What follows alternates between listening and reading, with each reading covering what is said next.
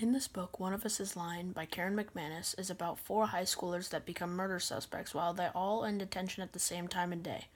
Simon, the victim, is a nerd that nobody really likes because of his blog slash app called About That.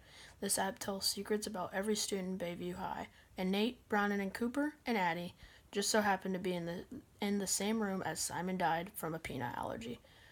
Cooper, one of the top baseball players in all of the country, could be a suspect because he made some insane growth throwing 70 miles an hour and then through the summer all of a sudden throwing 90 miles an hour. Little suspect if you ask me. Bronwyn is not a big suspect but stole some answers for a chemistry unit. Addy is not also a big suspect because she would not really hurt a fly. Just because it was just because it was a spring break one nighter doesn't mean she would kill somebody to keep it a secret. Nate is probably the biggest suspect because of his past on probation for selling drugs and still does, even though it's it is to support himself and his family. It is still against the law.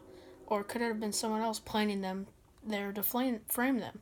Read this book to find out who actually killed Simon for vengeance.